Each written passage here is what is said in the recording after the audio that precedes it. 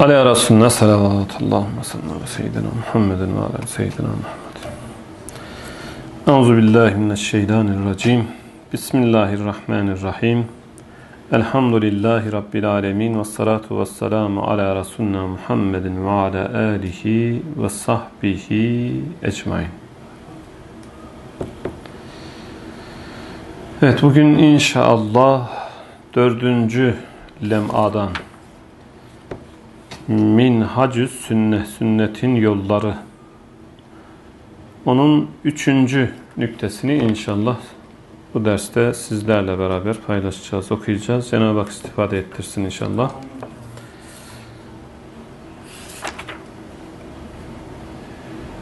Sadece şu kısmı mukaddime olarak okuyayım. Bismillahirrahmanirrahim. Minhacü sünne bu risaleye layık görülmüştür mesele-i imamet bir mesele-i ferriye olduğu halde ziyade ehemmiyet verildiğinden buradaki mesele-i imametten maksat hilafet yani Hazreti Ebu Bekir radıyallahu anh'ın hilafeti, Hazreti Ömer radıyallahu anh'ın, Hazreti Osman ve Hazreti Ali radıyallahu anh'ın o hilafetiyle alakalı çok böyle ileri veya geri aşağı yukarı neyse konuşmalar var işte şunun hakkıydı, şu gasp etti, şöyleydi, böyleydi vesaire vesaire. Bunun arasında bir mesele-i fer'iye yani e, çok da oturulup birileri tarafından konuşulacak bir mesele değil aslında. Vazife yapılmış ve bitmiş aslında. Yapan da sahabeler. Onlar hakkında kıylukal etmek, ileri geri konuşmak bize düşmez. Düşmez. Bizim haddimize de değildir. Ama ister istemez insanların gündemine taşıyıp bir şekilde insanlar birbirleriyle bu manada konuşuyorlar. Biz onlara girmeyeceğiz. Mesele-i feriye olduğu halde ziyade ehemmiyet verildiğinden bu meseleyi bir meseleyi imaniye sırasına girip sanki imani mesele gibi kıymet ve ehemmiyet kesbedip ilmi kelamda ve usulü dinde medar nazar olduğu cihetle Kur'an'a ve imana ait hizmeti esasiyemize münasebeti bulunduğundan cüz'i bahsedildi. Yani hizmetimize dair olan kısmıyla alakalı kısımlar burada zikrediliyor.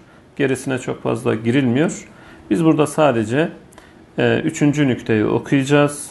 Üçüncü nükte hem Ali Beyt ile alakalı hem Hazreti Ali hem Hazreti Hüseyin hem Hazreti Hasan radıyallahu anh ile alakadar olduğundan dolayı e, işte e, bugün de Muharrem'in 10'u Muharrem'in 10'u aşure günü diye ifade edilir. Aşere 10 demek aslında. Oradan geliyor. Ee, işte peygamberlerin başından geçen olaylar, hadiseler vesaire var.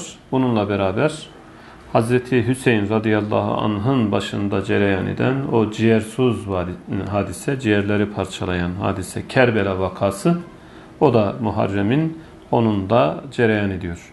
Peygamberlerin başından geçen hadiselere baktığımız zaman onların hep kurtuluşuna sebebiyet vermiş. Ama Hazreti Hüseyin radıyallahu anh ile alakalı şey yaptığımız zaman sanki onun içinde bir son olmuş oluyor, nihayet olmuş oluyor. Belki bu sonun da cevabını burada bugün anlamış olacağız. O bir nihayet midir yoksa çok büyük bir vazifenin başlangıcı mıdır?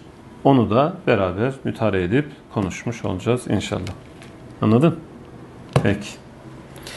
Üçüncü nükte. İllel meveddede fil gurba. Ayetinin bir kavle göre manası. Resul-i Ekrem aleyhissalatu vesselam vazife-i risaletin icrasına mukabil ücret istemez.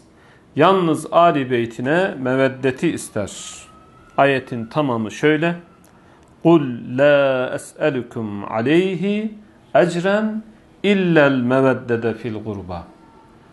Yani Cenab-ı Hak Peygamber Efendimiz Aleyhisselatü Vesselam ile alakalı bir meseleyi nazarımıza veriyor. Konuşan kim? Allah. Kim hakkında konuşuyor? Bir, Hazreti Peygamber Aleyhisselatü Vesselam.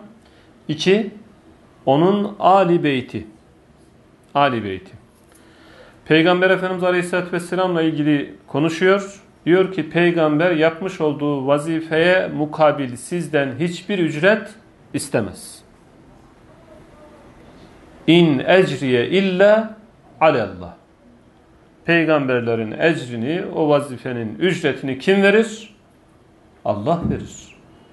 O ona aittir. Dolayısıyla size karşı yapmış olduğu vazifeden dolayı sizden herhangi bir beklentisi yoktur. İlla, illa bakın onu okuyayım. İllel meveddede fil gurba. Ali beytine muhabbetten hariç.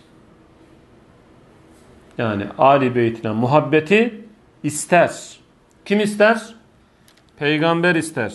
Kim istetiyor? Allah istetiyor. Buraya iyi bir dikkat edelim. Ali Beyt kimidi? Peygamber Efendimizin Ali Beyti. Yani Ehli Beyt, Ali Beyt ikisi de aynı mana. Ehli Beyt evin ahalisi demek. Ali Beyt o da yüksek, yüce ev manasına geliyor. Peygamber Efendimiz Aleyhisselatü Vesselam evinin ahalisi dediği kimlerden meydana gelmiş oluyor? Bir, kendisi. İki, kızı Hazreti Fatıma. Üç, e, amcazadesi, damadı Hazreti Ali. Dört, Hazreti Hasan. Beş, Hazreti Hüseyin radıyallahu an. Birinci derecede bu beş kişi. Ali Abam dediği, Ali Beytim dediği özellikle birinci derecede bu beş kişi. Ve bu beş kişiyle beraber Ali Beyt namı altına giren herkes. Konuşacağız ileride. Ali Beyt kimdir? Sadece bu beş kişiden ibaret midir? Yoksa Ali Beyt'ten maksat kimler daha başkalar da bunun içerisine giriyor mu? Dersin ilerisinde bunu konuşacağız. Ama umumi mana nedir? Ali Beyt'e muhabbet isteniyor. Kim tarafından? Allah tarafından. Kime söylüyor Cenab-ı Hak bunu? Peygamber Efendimiz'e sen de bunu ümmetinden iste diyor. Ümmetine de ki ben size yapmış olduğum vazifeye mukabil hiçbir şey talep etmiyorum. Sadece ve sadece Ali Beytime muhabbet talep ediyorum. Ali Beytimi sevin. Sevin. Bu neyin manası? Kur'an'ın ifade etmiş olduğu ayetin. Ayet. İllel meveddede fil gurba. Bu ayetin manası. Ayetinin bir kavle göre manası. Resul-i Ekrem aleyhissalatü vesselam vazife-i risaletin icrasına mukabil ücret istemez. Yalnız Ali Beytine meveddeti yani muhabbeti ister.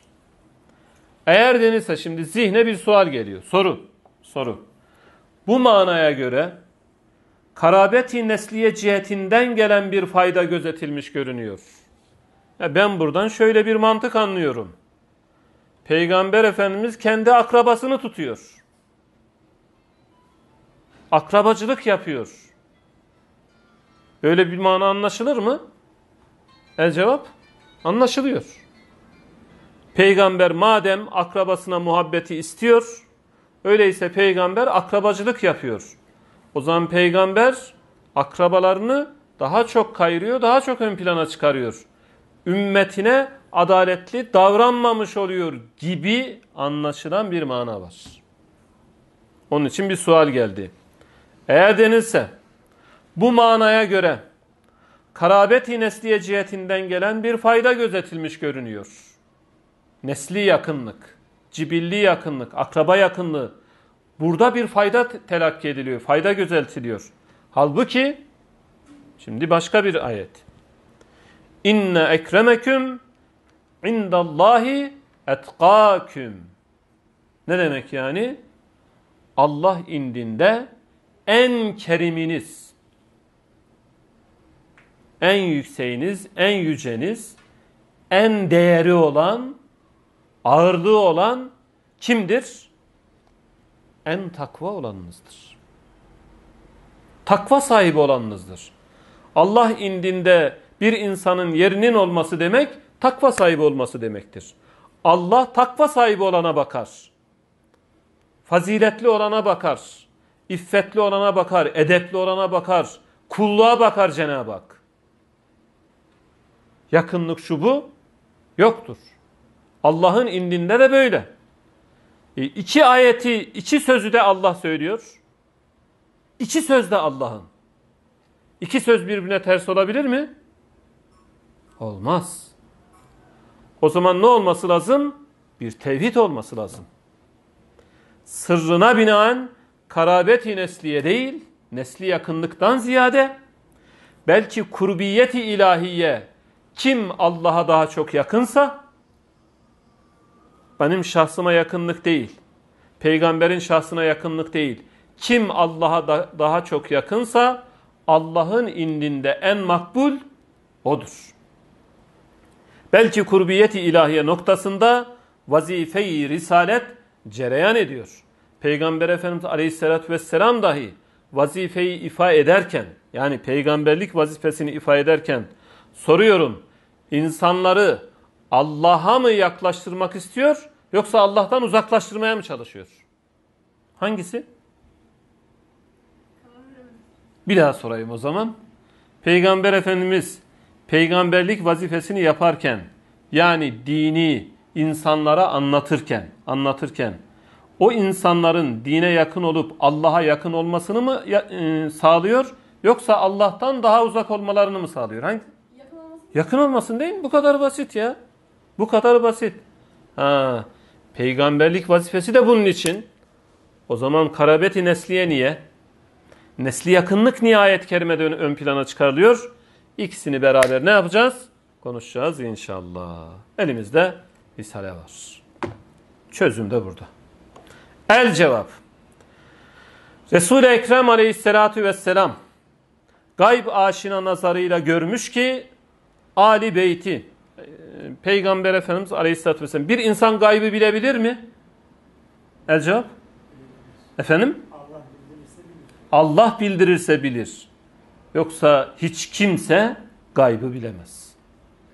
Peygamber Efendimiz gayb aşinası, gayb aşina gözüyle yani e, gayba, geleceğe nazar eden bir gözü var.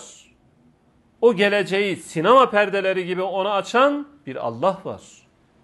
Gösteriyor. Gördürüyor. Miraca çıkar, çıkardığı gibi. Mekke'deyken Kudüs'ün, Mescid-i Aksa'nın kapılarını, pencerelerini gösterip saydırdığı gibi. Değil mi? Mute Savaşı cereyan ederken, Mute Savaşı cereyan ederken o savaşa iştirak eden, yani Peygamber Efendimizin evlatlığı, e, söyle ismini, Hazreti Zeyd, Abdullah bin Revaha, Halid bin Velid, öyle mi? Bir tane daha vardı. Ee, Caferi Tayyar, değil mi? Her birisinin savaştaki hallerini, dakikası dakikasına, sanki canlı yayın gibi, canlı yayın gibi sahabelere tek tek anlatıyor. Hazreti Zeyd'i anlatırken o ordunun başında o var. Şehit oldu diyor. İşte sancağı diyor. İşte Cafer'i Cafer aldı. Hazreti Cafer'i ifade ediyor. Onun da iki kolu kılıçla kesildi. O da şehit oldu. Sancağı işte e, nedir? Abdullah bin Revaha aldı. O da şehit oldu diyor. Sancağı diyor Halid bin Velid aldı. Sonunda muzafferiyet var. Daha başka şeyleri anlatıyor mu? Cennetteki hallerini bile anlatıyor. Şimdi diyor Zeyd cennete gitti. Abdullah bin Revaha cennete gitti. Ne diyor? Hazreti Cafer cennete gitti. Onun iki kesilen koluna binen, koluna binen cennette ona iki kanat verildi diyor. Veya Abdullah bin Revaha'yı anlatırken o sancağı eline alırken nefsiyle biraz mücadele etti. O nefsiyle mücadele ettiğinden dolayı cennette ona bir taht verildi ama tahtı biraz eğikti. Bunu o anda dakikası dakikasına istikbale matuf olan bir hadiseyi o anda Cenab-ı Hakk'ın göstermesiyle sahabelere tek tek anlatıyor. Medine'de Hazreti Peygamber aleyhissalatü vesselam Mute o zaman daha henüz Şam oralar fethedilmemiş yani Bizans veya işte Hristiyanlar oralar oralarda hakim nedir? Şam'a yakın bir yer. Böyle olduğu gibi Hazreti Peygamber aleyhissalatü vesselam Allah'ın gördürmesiyle istikbali de görür. İstikbalde kendi neslinden gelecek, gelecek o insanların, o büyük zatların ne vazifeler yapacağını da Allah tarafından ona ne yapılır? Müşahede edilir, ettirilir, gösterilir. Burada da onu ifade ediyor. Resul-i Ekrem aleyhissalatü vesselam gayb başına nazarıyla görmüş ki Ali Beyti alemi İslam içinde bir şecere-i nuraniye hükmüne geçecek.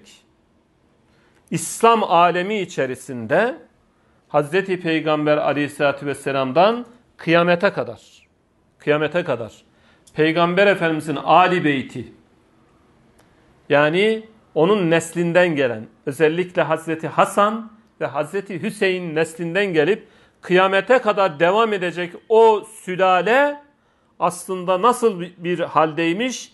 Bir şecere-i nuraniye hükmündeymiş. Nurani bir ağaç. Kökü asr-ı saadette dalları kıyamete kadar uzanıp gidiyor. Meyvesini bütün asırlara bırakıyor. Her bir asırda onun meyveleri var. O nurani ağacın. Abdülkadir Geylaniler. Öyle mi? Yani İmam-ı Azamlar, İmam-ı Şafiler hep oralardan ne yapmışlar? İstifade etmişler. Ta bu asırda Bediüzzamanlara varıncaya kadar. Her asra damgasını vuran ne kadar büyük zat varsa, ne kadar o ıı, sülaleye maddi ve manevi mensubiyeti varsa bakın o nurani ağaçtan hepsinin istifadesi olduğunu göreceksiniz. Dolayısıyla o nurani ağacı Peygamber Efendimiz dalları kıyamete kadar uzanmış bir şekilde görüyor. O dalların her birisinden her bir asra bir değil, beş değil, on değil belki yüzlerce meyve düşüyor. Alemi İslam bütün tabakatında kemalat-ı insaniye dersinde rehberlik ve mürşitlik vazifesini görecek zatlar ekseriyeti mutlaka ile genellikle, çoğunlukla yani insanlara ders verecek, yol gösterecek, rehberlik yapacak. Bu vazifeyi kimler yapmışlar? Ali Beyt'ten çıkmış. O sülaleden geliyor. O sülale, seyitler cemaati diyoruz biz. O sülaleden geliyor. İncelediğiniz zaman hepsi bakıyorsun ki ya Hazreti Hasan radıyallahu anha ya Hazreti Hüseyin radıyallahu anha dayanıyor şecere olarak. Bazıları da var ki hem anne tarafı hem baba tarafı yani silsileyi devam ettirdi mi hem Hazreti Hasan'a hem de Hazreti Hüseyin'e dayanıyor. İkisi de oradan geliyor. En kuvvetlileri. En kuvvetlileri. Teşehhütteki ümmetin al hakkındaki duası. Aslında biz de ne yapıyoruz? Tahiyyatta bir dua yapıyoruz. Nedir o dua? Allahümme salli ala seyyidina Muhammedin ve ala ali seyyidina Muhammed kema salleyte ala İbrahim'e ve ala ali İbrahim inneke hamidun mecid. Bir dua yapıyoruz. Bu duanın manası nedir? Meali Allah'ım diyoruz. Sen İbrahim aleyhisselama ve onun gibi olan peygamberlere selam eylediğin gibi salat ve selam eylediğin gibi Hazreti Peygamber aleyhissalatü vesselama ve onun aline, akrabalarına, onlara da salat ve selam eyle. Bir kıyas var değil mi burada?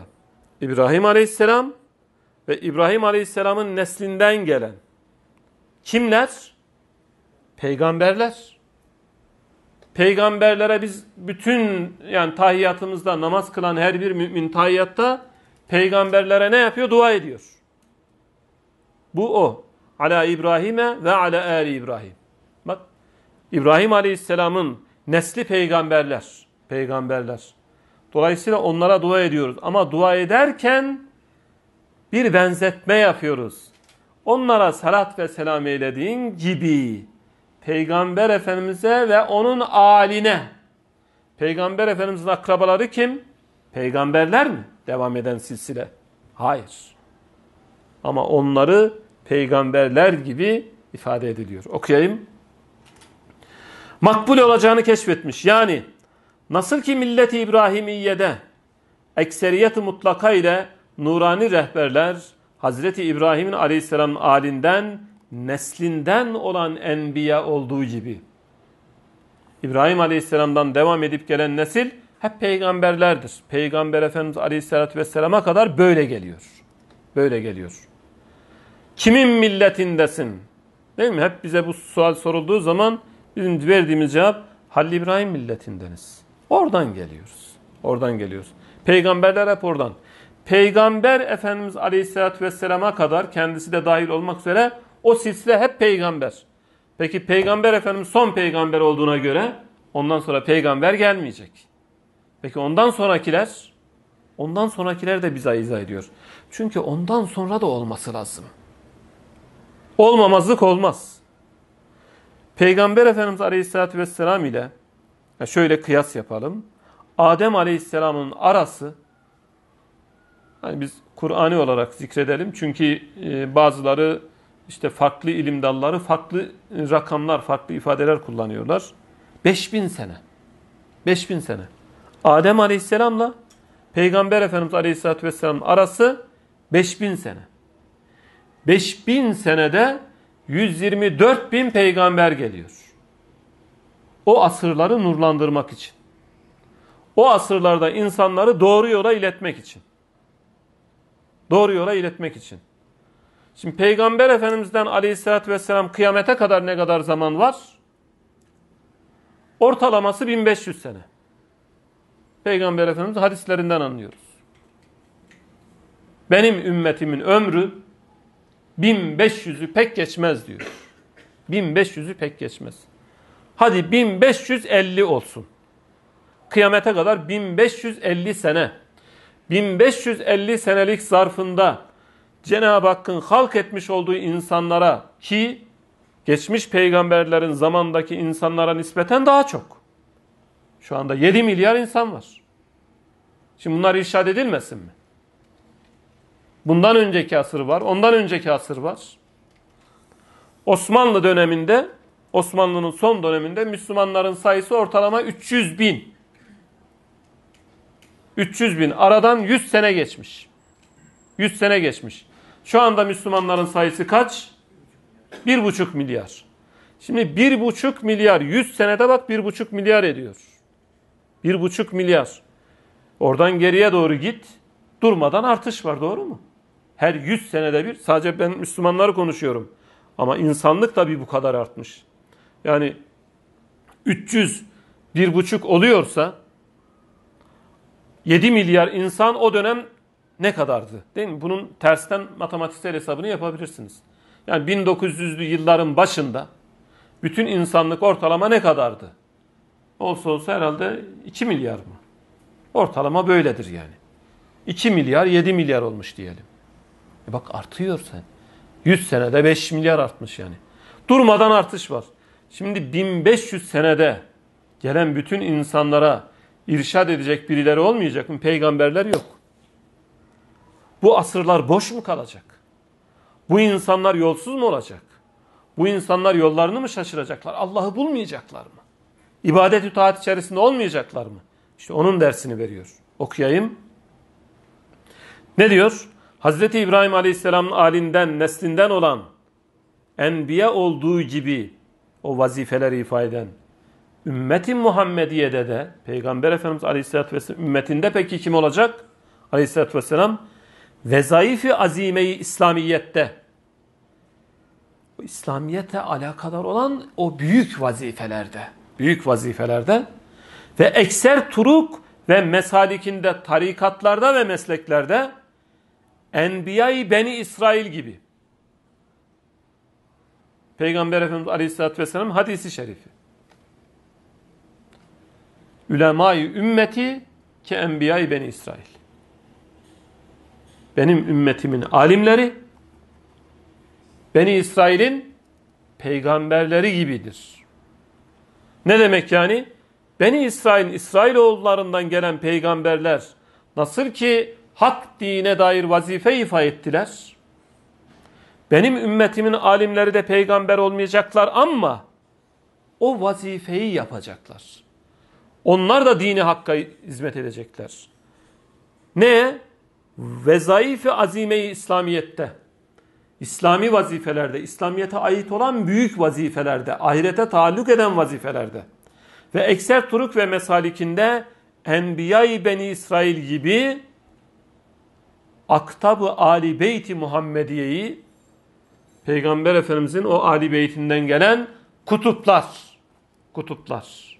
Bakın Aleyhisselatü Vesselam görmüş. O kutupları görmüş.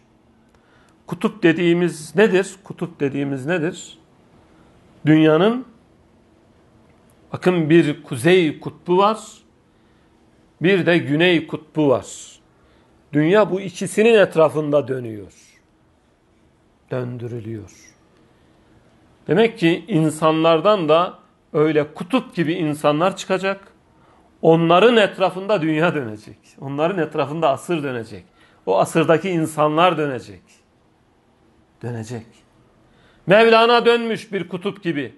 Onun etrafında da Mevleviler dönmüş. Abdülkadir Geylani Hazretleri dönmüş bir kutup gibi. Onun etrafında da Kadiriler dönmüş. Muhammed Şah Nakşibend Hazretleri dönmüş bir kutup gibi. Onun etrafında Nakşibendiler dönmüş. Bakın Bediüzzaman Hazretleri hayatı boyunca dönmüş bir kutup gibi. Onun etrafında nur talebeleri dönüyor. Risale-i Nur'dan istifade edenler dönüyor. Adeta onların cazibesine takılıyor, dönüyoruz. Yoksa ne istifade edeceğiz yani? Ne istifade edeceğiz? Elhamdülillah. Bismillah.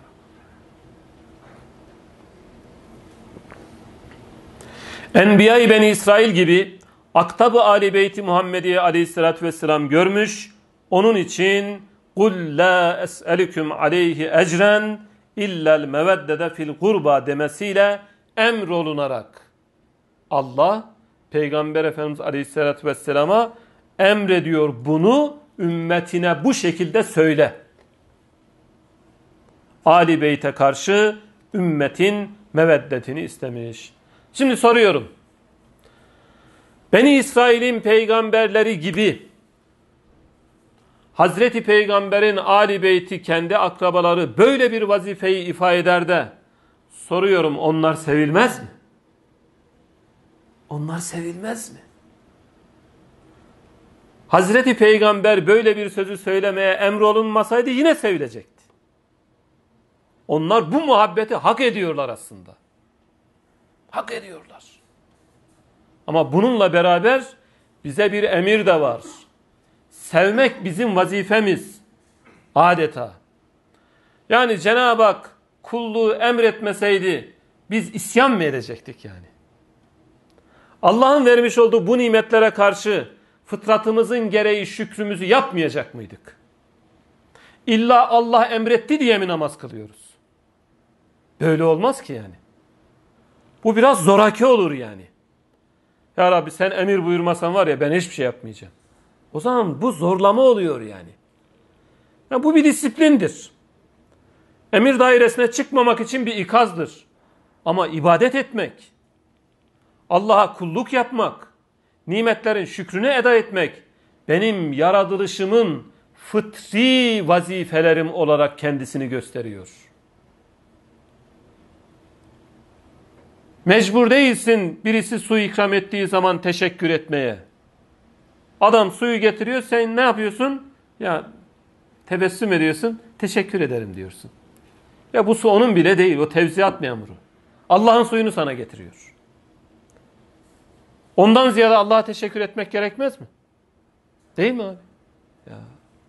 Ha, bunlar bizim fıtri vazifelerimiz. Yapmamız gereken şeyler. İlla Allah emredecek diye değil. Hazreti Peygamber'e emredilmiş bu sözü ümmetine söyle. Söylemeseydi de sevilmesi, sevilmeye layık, liyakat kesbetmiş insanlar. Niye? İlim zatında sevilir. İman zatında sevilir. Güzellik zatında sevilir. Adam güzel. Düşmanın dahi olsa seviyorsun yani. İlim düşmanın da ilminden dolayı seviyorsun. Diyorsun ki ya ne kadar düşmanım olursa olsun adam alim. Bak oradan bir sevgi doğuyor. Aa, senin düşmanın değil, senin dostun. Seni irşad eden, hak yola sürükleyen, batıldan uzaklaştıran, öyle mi?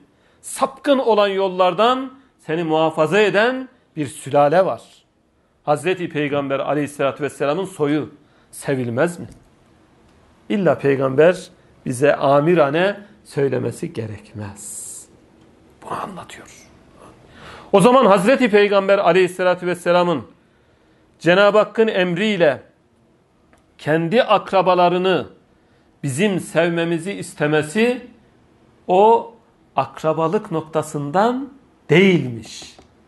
Hangi noktadanmış? İslamiyete olan hizmetten dolayı.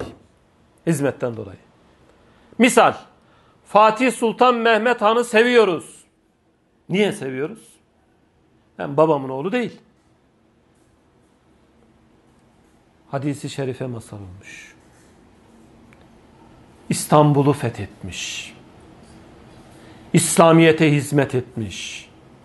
Kendisini hak uğruna feda etmiş.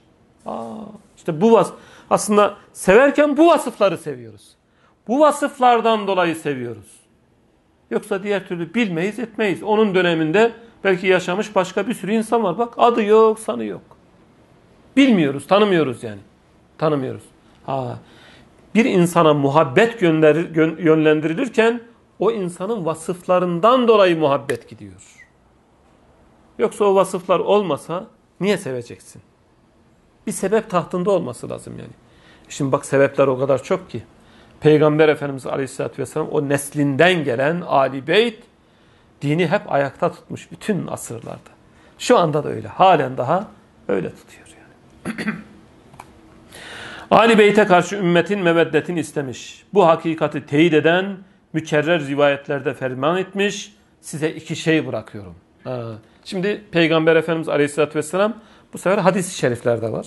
Peygamber Efendimiz diyor ki ben diyor size iki şey bırakıyorum. Benim yani bir peygamberin e, bırakacağı vasiyet ne olabilir yani? Ne olabilir? Peygamber maddi bir mülk kazanmamış ki. Maddi bir mülk yok. Maddi hiçbir şey yok. Hiçbir şey yok. Dünyayı elinin tersiyle itmiş. Peygamberin bırakacağı bir şey olsa olsa maneviyat olabilir. Ondan başka hiçbir şey olamaz.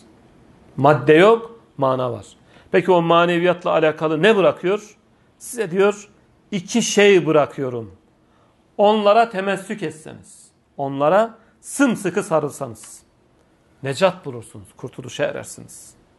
Biri Kitabullah, Kur'an-ı Azimüşşan. Biri bu. Okuyacaksınız, anlayacaksınız, idrak edeceksiniz, aklınıza, kalbinize, zihninize, dem ve damarınıza yerleştireceksiniz. Sonra yaşayacaksınız. Sonra yaşatacaksınız. Vazifemiz bu. Anlamak, idrak etmek, yaşamak ve yaşatmak. Kur'an elden bırakılmayacak. Biri bu. Diğeri Ali Beytim. İki şey. Ehli Beytimi bırakıyorum diye. Ehli Beyt'ten murat nedir? Başka yerlerde burada özellikle Üstad Hazretleri Ali Beyt ifadesini kullanıyor. Başka kitaplarda baktığınız zaman Peygamber Efendimiz Aleyhisselatü Vesselam'ın bu hadisi şerifi bir kitap, iki sünnet olarak ifade edilir değil mi? Niye burada Ali Beyt diyor da sünnet demiyor? Ya çünkü asırlar boyunca o sünneti muhafaza eden, hayatlarında bizzat yaşayıp gösteren Ali Beyt. Birinci derecede nedir? Örnek model. Birinci derecede. Birinci de yani benim sünnet noktasında idolüm kim olabilir? Ne olabilir? En birinci nedir? Ali Beyt. Ondan dolayı Bediüzzaman Hazretleri Ali Beyt ifadesini özellikle kullanıyor. Biri Kitabullah, biri Ali Beytim. Çünkü izahını yapıyor. Sünnet-i Seniye'nin menbaı, kaynağı ve muhafızı, koruyucusu ve her cihette iltizam etmesiyle ya sünnet-i seniyenin her yönüne, her şekline, her cihetine uyması, yerine getirmesi, uygulaması, fiili olarak hayatında tatbik etmesi cihetiyle mükellef olan bizzat vazifedar, vazifeli, teklif altına alınan Ali Beyt'tir. Ali Beyt'in böyle bir vazifesi var. İşte bu sırra binaendir ki kitap ve sünnete ittiba ünvanıyla bu hakikati hadisiye bildirilmiştir. Demek Ali Beyt'ten vazife-i risaletçe muradı sünnet-i seniyesidir. Sünnet-i seniyeye ittiba terk eden hakiki Ali Beyt'ten olmadığı gibi Ali Beyt'e hakiki dost da olamaz. Bazen şöyle bir tenkit gelebiliyor. Ya falan şahıs ben seyyidim diyor ama hayatına, yaşantısına bakıyoruz. İşte İslamiyetle, sünnetle, şunla, bunla hiç alakası yok. Böyle bir, birileri olabilir mi? El cevap ihtimal ki olabilir. Yani soy olarak, hakikaten soy olarak, nesep olarak nedir? Hazreti Hasan ve Hazreti Hüseyin'e dayanabilir. Ama kendisi İslamiyet'ten uzak ve İslamiyet'ten habersiz olabilir. Olabilir. İşte onlarla alakalı da Üstad Hazretleri konuşuyor. Böyle birileri diyor. Olsa diyor. Onlar sünnet-i seniyeyi hayatlarına tatbik etmeseler, Kur'an'ı hayatlarında yaşamasalar, ne diyor onlar için? Hakiki Ali Beyt'ten olmadığı gibi, Ali Beyt'e hakiki dost da olamaz. Yani nesebi bağlılık, Ali Beyt manasını sadece Ali Beyt manasını nesebi bağlılık ifade etmez. Nesebi bağlılıkla beraber sünneti hamledecek, mahsedecek, hamledecek, hazmedecek, yaşayacak. Bunu yapacak. Bu hepimiz için geçerli. Farz edelim ki birisi, birisi neseben Ali Beyt'ten değil. Başka birisini de konuşalım yani. Yani soy olarak Ali Beyt'e, Peygamber Efendimiz'in Ali Beyt'ine, Hazreti Hasan ve Hazreti Hüseyin'e dayanmıyor. Dayanmıyor. Ama hayatına Kur'an'ı tatbik ediyor. Hayatında sünneti tam yaşıyor. Peki böyle birisinin o Ali Beyt'ten hiç istifadesi olmayacak mı? Üstad Hazretleri bunu da ifade ediyor. Onlar diyor manevi Ali Beyt'tendir. O şemsiyenin altında dahil. Ne güzel. Oradan istifade ediyor. Geri kalmıyor. Yani birisi şöyle bir itiraz yapacak olsa ya ben o soydan hadi farz edelim ki değilim bilmiyorum ama farz edelim ki değilim. Peki ben o faziletten istifade edemeyecek miyim? Sünnete tabi ol. Kur'an'ı yaşa. Manevi Ali Beyt'tensin. Aa sana güzel bir nedir? Mana yani makam diyorsan makam. Şimdi bu böyle. Şurada da, burada da kısa bir yer var. Okuyup bitireceğiz. E o zaman Hazreti Hasan radıyallahu anh ve Hazreti Hüseyin radıyallahu anh başına gelen hadiselere nasıl bakacağız? Neyin? İkinci bir soru geliyor. Madem bu vazifeyi onlar deruhte ediyorlar, o zaman Hazreti Hüseyin radıyallahu anh'ın yolu Kerbela'da niye kesildi? Niye 70 civarında Ali Beyt'ten çocuk, kadın, büyük orada katledildi? Niye Hazreti Hüseyin radıyallahu anh'ın başı, mübarek başı vücudundan ayrıldı? Ta Şam'a kadar götürüldü. İlla onu kestik, bitirdik diye orada ispat yapıldı. Buralara kadar. Şimdi buna baktığınız zaman ciğerleri parçalayan bir hadise. Cenab-ı Hak böyle bir hadiseye madem onlar büyük ve ulvi vazifeyle mükelleftiler niye böyle bir hadiseyle onların önü Kerbela'da kesildi? Bunu da okuyup bitirelim olur mu? Bugünün hadisesi. Evet. Eğer denilse bir sual geliyor. Bu kadar haklı ve hakikatli olduğu halde zaten sual böyle geliyor. Yani Hazreti Hasan geç Hazreti Hüseyin için konuşuyoruz. Hazreti Hasan radıyallahu anh da vazifeden geri duruyor yani. Hilafeti Hazreti Muaviye'ye devrediyor. İki ordu müsalaha ediyor. Çarpışacakken nedir? Barış yapılıyor ve daha sonra da Hazreti Hasan radıyallahu an bir vesileyle zehirleniyor. Zehirlettiriliyor. Hazreti Hüseyin radıyallahu anh'a da Kerbela'da karşı çıkılıyor. Hazreti Hasan Hüseyin radıyallahu anh'ın yapmış olduğu vazife haklı ve hakikatliydi. Ki e, e, yürüdüğü yolda haklıydı. Haklıydı yani. Onun etrafında toplananlar da vardı. Toplananlar da vardı. Belki yüz binlerdi. Ama nerede onlar buluşacaklardı? Basra'da buluşacaklardı. İşte Küfe'den gelen şuradan buradan vesaire. Fakat oraya git, gidemeden Medine'den yola çıktı. Kerbela'da önü kesildi. Neden muvaffak olamadı? Hazreti Hüseyin radıyallahu an neden bu haklı ve hakikatli vazifede muvaffak olamadı? Hem neden? İkinci bir soru geliyor. Onu da ikisini beraber işleyeceğiz. Hem neden kaderi ilahi ve rahmeti ilahiye onların feci bir akibete uğramasına müsaade etmiş. Şimdi böyle bir e, feci akibetten Allah muhafaza edebilir miydi? El cevap ederdi. Ederdi. Kaderi ilahi böyle bir musibete de müsaade ediyor. Müsaade ediyor. O zaman kaderin her şeyi güzelse, önü, arkası, sağ çünkü takdir eden Allah. Takdir eden Allah. Kaderin her şeyi güzelse, o zaman bu ciğerleri parçalayan hadise içerisinde kaderin güzel cephesini nasıl göreceğiz? Nasıl bulacağız? Allah niye böyle bir hadiseye müsaade ediyor? Onun da cevabı gelecek. İki tane cevap okuyup bitireceğiz. El cevap. Hazreti Hüseyin'in yakın taraftarları değil. Fakat cemaatine iltihak eden sayır milletlerde yaralanmış gururu milliyeleri cihetiyle Arap milletine karşı bir fikri intikam bulunması.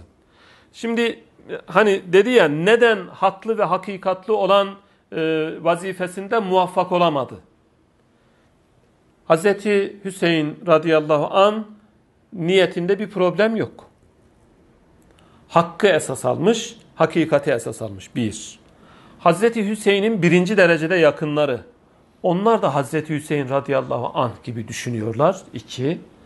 Peki Hazreti Hüseyin'in etrafında bulunan o taraftarlar, onların hepsi Hazreti Hüseyin radıyallahu anh gibi mi düşünüyor? El cevap hayır. Sıkıntı burada. Ben yola çıkmışım. Yola çıkmışım. Ama e, benimle diyelim 70, 80, 100 kişi aynı niyette, geri 100 bin kişi farklı niyette. Ben muvaffak olabilir miyim? Olamam. Olamam. Hazreti Hüseyin radıyallahu anh'a gelen mektuplar içerisinde Basra'da seni yüz binler bekliyor. Daha gitmeden hepsi sözünden geri dönmüşler. Hepsi sözünden geri dönmüş. Bu nasıl iş ya? Mektup üstüne mektup, mektup üstüne mektup. Hazreti Hüseyin'e gel sana biat edeceğiz, gel sana biat edeceğiz, gel sana biat edeceğiz. Senden öte kime biat edeceğiz? Oho. Daha yarı yolda haber geliyor. Yarı yolda haber geliyor. Onlar sözünden dönerler, sen de geri dön. Ama kader ilahi gitmesine müsaade ediyor yani. Niye onlarda bir bu şekilde haller var, daha başka haller de var. Onu da burada ifade ediyor. Diyor ki bir, Emeviler dinden ziyade ırkı esas aldılar. Yani devletlerini Arap milliyetçiliği üzerine bina ettiler. Arap milliyetçiliği üzerine bina ettiklerinden dolayı İslamiyet'e giren sayır milletler Hazreti Hüseyin radıyallahu anh yanında yer alıyorlar. Ama onlar Arap milliyetçiliğini esas aldıklarından dolayı o ırkçılık damarıyla nedir? Emevilere bir intikamları vardı. Yani onlar aslında ırklarının izzeti için çarpışacaklar. Dinin izzeti için çarpışmayacaklar. Niyet farklı. Bundan dolayı bir mağlubiyet söz konusu. Allah müsaade etmiyor. Müsaade etmiyor. Biri bu. Okuyayım tekrar. Fakat cemaatine iltihak eden sayır milletlerde, diğer ırklarda yaralanmış gurur milliyeleri cihetiyle. Çünkü niye? Emeviler onları durmadan aşağı gösteriyor, aşağı gösteriyor. Arap milliyetçiliğini yukarı çıkarıyorlar. Arap milletine karşı bir fikri intikam bulunması, Hazreti Hüseyin ve taraftarlarının safi ve parlak mesleklerine halel verip, onlar da ister istemez oradan zarar görüyor, mağlubiyetlerine sebep olmuş. Sebep noktasından bu. İşte yüz bin kişi aynı yola çıkmışız ama yüz kişinin niyeti bir, gerisinin niyeti farklı. Muvaffak olamazsın. Bir. Bu sebepler noktasında. Peki kader noktasında muvaffakiyetsizliğin sebebi nedir? Onu anlatacak. Ama asıl mesele burası. Diğeri çok önemli değil. Diğeri tarihin gösterdiği sebeptir aynı zamanda. Hadisattır. O bahane cinsindendir. Çok önemli değil. Onlarla ilgili sayacak olursak daha başka sebepleri de sayabiliriz. O da önemli değil. Önemli olan her bir meselede meselenin kader cephesine bakıp hakikati oradan anlamak, oradan idrak etmek. Çünkü oradan çözersin. Oradan çözersin. Sen sebepler noktasında konuşacak olsan dersin ki ya yine Allah müsaade etmeseydi etmezdi. Çünkü niye? Hazreti Hasan kadri kıymeti, Hazreti Hüseyin'in kadri kıymeti diğerlerinin ne nispeten Allah'ın indinde daha yüksek. Allah onları galip getirirdi onların bu hallerine rağmen dersin sebepler noktasında. Ama Allah kader noktasında bir şeye müsaade ediyor. Kader noktasında feci akıbetin hikmeti ise Allah niye orada önlerini kesiyor? Kerbela'da niye Hazreti Hüseyin'in önünü kestirdi? Onun hikmeti ise Hasan ve Hüseyin ve onların hanedanları, onların neslinden gelenler, gelenler ve nesilleri manevi bir saltanata namzet idiler. Allah'ın muradı bu. Allah'ın takdiri bu. Cenab-ı Hakk'ın muradında muradı ilahi diyor ki ben diyor peygamber ve onun neslinden gelecekleri manevi saltanata namzet etmişim. Kaderi planlamam benim bu şekilde. Sen manevi saltanata değil de maddi saltanata yönlenecek olursan o zaman senin önün ne yapılacaktır? Bir şekilde kesilecektir. Çünkü niye? Allah senin maddi saltanata yönelmene müsaade etmiyor. Hazreti Hüseyin radıyallahu an işte Basra'ya ulaşmış olsaydı oradaki insanlar onu ne tanıyacaklardı?